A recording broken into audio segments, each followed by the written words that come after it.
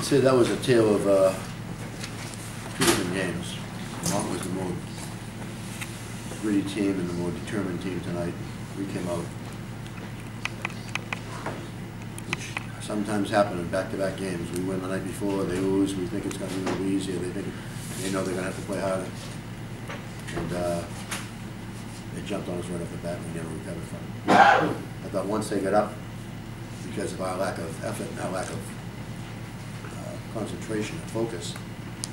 Then we tried to get going, we tried to play harder, but uh, because we weren't mentally ready to start, we couldn't get it going. We missed a lot of passes, we missed a lot of opportunities, the puck was bouncing on us. We had a whole bunch of uh, situations go almost. uh, that were were-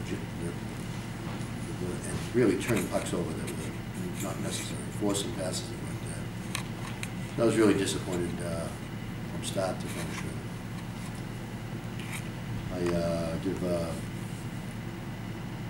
Sean a lot of credit in goal. He wasn't expected to play tonight. He uh, didn't get himself prepared like he usually does. He was told after the pregame skate today that he was going to go. And obviously he had a tough night, you know, physically last night, coming back and playing again.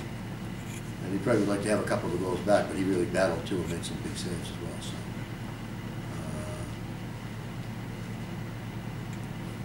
Couple of it, I thought, uh,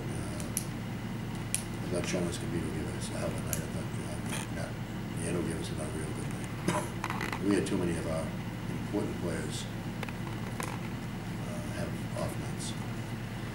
For them, it seemed uh, Brody Hoffman was fantastic in the first period, particularly when they needed him to be. But I also wonder how much of a factor was three games in five days for you. Uh, I don't know, you know. It's not a fact that the puck is bouncing on us, we're not controlling the puck, we should. It wasn't, we didn't look really legless, we just, uh, not focused. But, you know, mental, mental, uh, focus is there.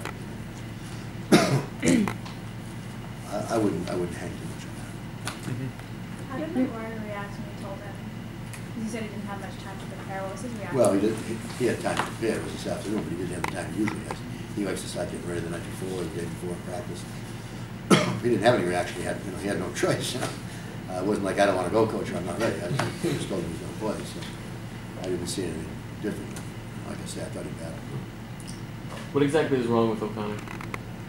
Uh, they're not sure, it's, I think he might have a collapse lung. He just felt funny, uh, and felt like he couldn't breathe in practice. He was talking about before the practice, and we went up to see how he played. And then the doctor, sent him over to see the doctor.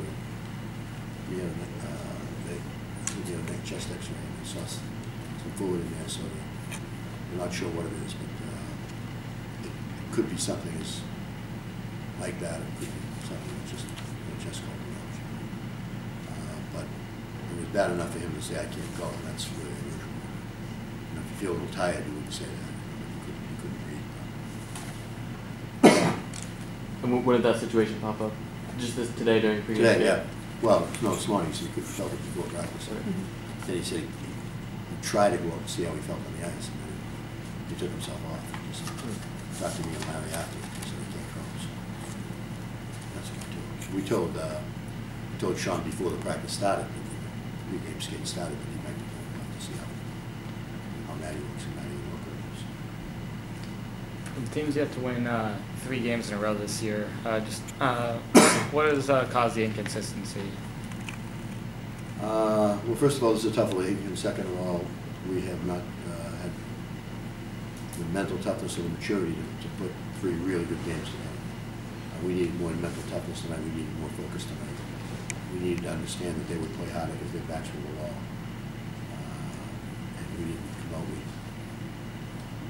we we didn't look like the same team starting this game as we started last night. So I would say that's mental toughness.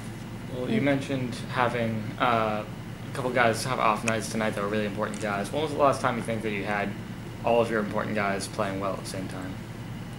Last night? Easy. Early. Last two games.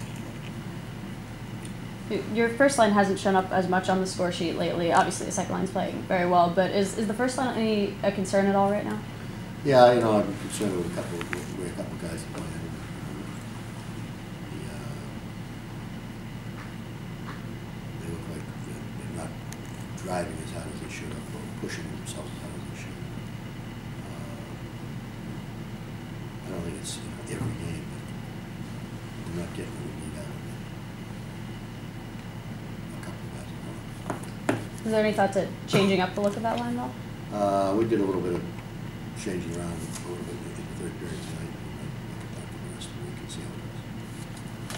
Far as Matt, is it just a matter of the puck going in for him now, or is he doing some stuff without the puck that's kind of? Well, I think the puck's going in for him, you know, he's always been a streaky goal scorer, he's also moving without the puck. He's not trying to play your puck, he's going to get it, he's not, he's not standing out the, the, uh, the periphery hoping somebody finds him for a long time, he's, he's closing down the net. He's, he's, he's he's driving out, and a couple of his goals have been backdoor goals, he was on the, on the half wall, and all of a sudden he started to go down low, and he made a beeline to the pipe, and there it was for him. A couple of his goals have been two on ones where he made a beeline to he sees somebody going in the net, so he's gonna get up there, instead of being a drop man, he's trying to get to the goal think he's just moving faster, more determined. Is that just a matter of, you know, experience, knowing that he has to do that now, or is there? I think it's a matter of, you know, uh, motivation.